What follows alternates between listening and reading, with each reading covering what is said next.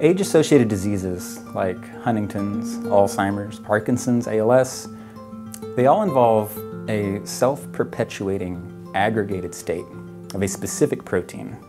We wanted to figure out how that aggregated state first starts. Once that protein starts to aggregate, it keeps on aggregating.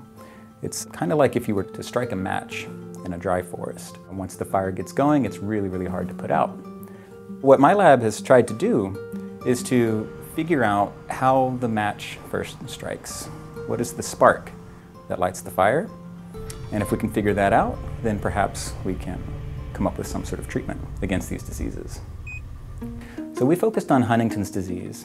The proteins that cause Huntington's and other diseases have what's called polyQ. What we ended up finding was that the spark that starts Huntington's disease in fact begins in a single molecule of the protein. Not only did we discover this really surprising uh, finding, but we also found exactly what the structure of that molecule is when it starts that spark.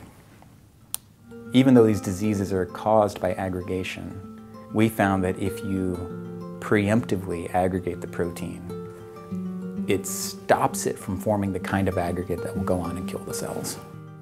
And so now that we've uh, demonstrated that we can figure this out, for this one example. Um, the hope is that we'll be able to do exactly the same thing for the proteins that are responsible for ALS, for Alzheimer's, for Parkinson's.